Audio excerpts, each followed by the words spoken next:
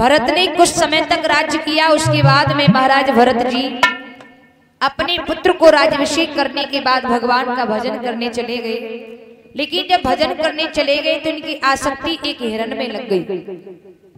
ये संक्षिप्त में आपको थोड़ा बता रही हूँ मैं। इनकी आसक्ति एक हिरण में लग गई।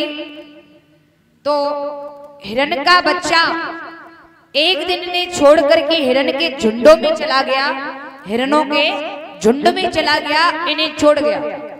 तो ये हिरण की याद में उस हिरण के बच्चे की याद में महाराज भरत जी अपना शरीर छोड़ देते हैं। अगली योनि इन्हें हिरण की ही प्राप्त हुई यज्ञपति महाराज। मैं थोड़ा संक्षिप्त में इसलिए बता रही हूँ कि कहते हैं कि व्यक्ति के मरते समय व्यक्ति की जब अंतिम श्वास निकलती है अंतिम समय व्यक्ति का जो चिंतन होता है जो याद रहती है व्यक्ति की वो मानव उसी योनि में जाता है।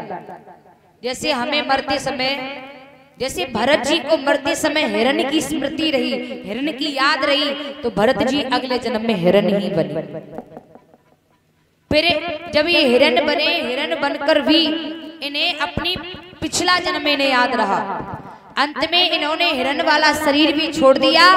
तीसरा जन्म इन्हें फिर से मानव का मिला है। मानव का मिला है लेकिन इन्हें अपने पिछले दो जन्म याद रहे हिरण वाला और भरत वाला। तो इन्होंने सोच लिया था कि अब हम इस संसार में फंसने वाले नहीं हैं। दो जन्म मैंने यूँ ही गमा दिए अब हम इनमें नहीं फंसेंगे चाहे कुछ भी हो जाए। ये सोच करके इनके पिता ब्राह्मण परिवार से इनके पिता सिखाते हैं कि बेटा, आप कार्य करना सीख लो, शादी विवाह पढ़ना सीख लो। लेकिन भरत जो है, जो उनके पिता जो कहते हैं, उसके ठीक विपरीत चलते हैं, ठीक उल्टा चलते हैं। वो सोचते हैं, अगर ये सब कुछ मैंने सीख लिया तो मैं इसमें फंस जाऊँगा। और फंस जाऊँगा फिर भगवान का भजन नहीं कर पाऊँगा। जब ये पिता के ठीक विपरीत चलने लगे तो इनके पिता ने इन्हें घर से निकाल दिया। इनका नाम रख दिया जड़ भरत। जड़ किसे कहते हैं?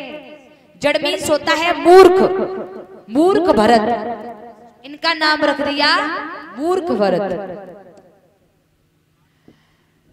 अब तो ये भगवान के चिंतन में ही रहते हैं। वन को चले गए भगवान के चिंतन में पागलों की तरह रहते हैं। देखने में ये पागल से लगते हैं। कोई नहीं समझ सकता कि इतने विद्वान हैं। इन्हीं जड़ भरत जी ने राजा रहुगढ़ जी को सत्य का परम सत्य का उपदेश दिया।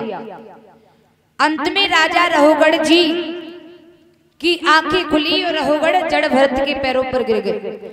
इस कथा का शीर्षक मैं आपको बताऊँ, ये शॉर्ट कथा मैंने आपको क्यों कही है? हमारे सनातन धर्म में क्या है कि आजकल लोगों के यहाँ गाय तो नहीं मिलेगी, लेकिन कुत्ता ज़रूर मिल जाएगा। बताइए, कितने लोग इस प्रांगण में ऐसे हैं जिनके दरवाजे पर एक गाय पली हुई है, जिन्होंने गाय पाल रखी है, जरा ऊपर हाथ करना। पूरे गाँव में? वाह वाह तो तो भाई तारीफ़ योग्य है आपका शीतलपुर लेकिन अक्सर कर देखने में आता है कि लोगों के दरवाजे पर गाय तो नहीं होगी कुत्ता ज़रूर होगा। कुत्ता नहीं पालते हैं तो तो बहुत अच्छे हैं आप लोग। बहुत बहुत आभार आपका। हाँ भैया एकदम गायकार नहीं है। ना गायकार है ना कोई कुछ है। बेटी एक बेटी और एक रोटी। नाम का बेटी लिखा रहे का, रोटी लिखा रहे। हमारी बेटी हमने अभी दाम दिए क्या रुपए सौ रुपए। और पाँच सौ रुपए हमें लिखवा दिए यहाँ। और हमारी बेटी ने पाँच सौ रुपए का हमारी हमारे नाम लगा दिया। सही कही है। कि बेटी क्या रोटी। बेटी ने हमारी बात आज सभा में रखी। स्व का लोट दिया। हमने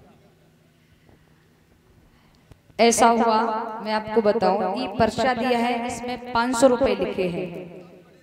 जी कोई बात नहीं। लेकिन इन्होंने दिए सौ रुपए।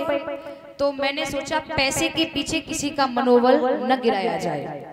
अगर इन्होंने लिख दिए हैं तो मुझे बोलने में क्या जा रहा है? सब भगवान देख रहा है ना फिर मैंने कहा इनका हो सकता है समर्पण ऐसा हो अंदर से कुछ ऐसा हो तो मैंने वो चीज़ न देख करके इन्होंने जो लिखा वही बोल दिया इसलिए वो बोल रहे हैं?